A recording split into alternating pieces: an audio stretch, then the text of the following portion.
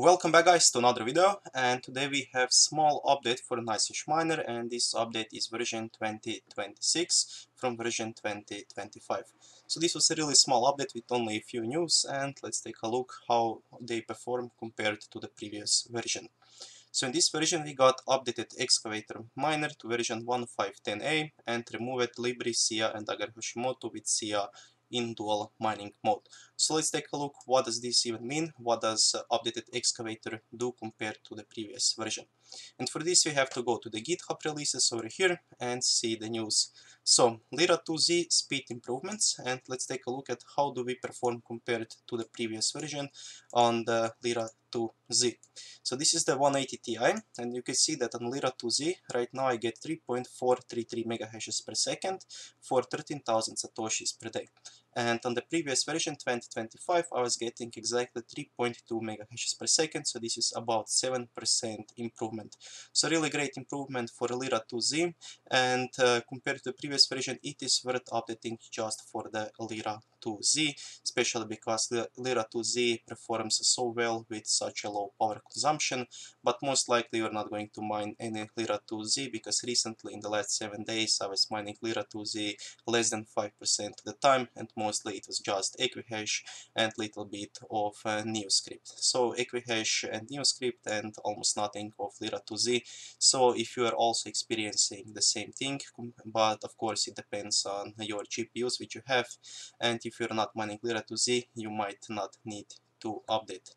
And the next one is small 2 revision to speed improvements for some cards and it doesn't say anywhere for which cards uh, this actually is but on my 180 Ti I actually got little improvements. Uh, before this update I had 17 70.5 megahashes per second and right now I get 71 0.044. So this is about 1% improvement on Lyra 2 revision 2. It is really small improvement and uh, it's, it's not really worth updating just for this, but you also get Lyra 2Z, so it is a free uh, performance boost compared to the previous version. The next thing uh, you can take a look is over here, uh, CryptoNight V7, CryptoNight Heavy, for CPU there is nothing new over here and you don't get any performance improvements over here. And remove the Lbry Sia and Dagger Hashimoto Sia in dual mining is something that I actually said when I reviewed the previous version of NiceHash Miner that they should actually remove uh, those algorithms because you are getting like 2, 300 or 400 satoshis per day on the high-end GPUs which is really even not worth mining for on your GPU and you can see that you uh, have other versions. Over here Dagger Hashimoto and Decred, Dagger Hashimoto and Pascal still available for mining and uh, they removed just dual mining for Dagger Hashimoto and Sia together with uh, Sia mining. The next thing I think they should remove is Decred because you only get 222 satoshis per day. It is full of ASIC miners that do Decred mining and there is really no need for them even to have this because it just takes a little bit longer to benchmark 13 uh, algorithms instead of 12 and just remove everything that is not profitable. It will make program faster, it will be smaller size and it will be better for new people to not have 13 different options but maybe on like 10 or 8 options which are the most profitable ones.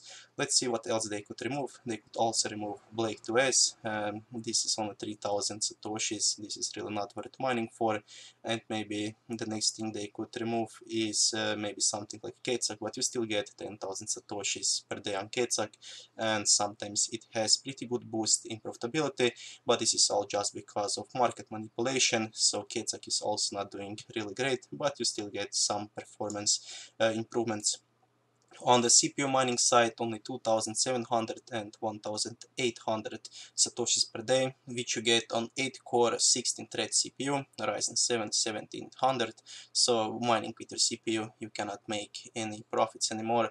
Well, you can maybe if you have um, a if you have mining rig and you just want to put a Ryzen CPU there, maybe instead of some low-end CPU, because if you want to use it later on when you don't mine or something like that, but for 2000 or 3000 satoshis per day, it is not worth mining for because you, you will pay uh, for electricity a lot more than you will get with uh, mining for such low amounts. So this is it, nothing actually new, you can go over here maybe to configure, maybe there are some news over here, I don't see anything new over here.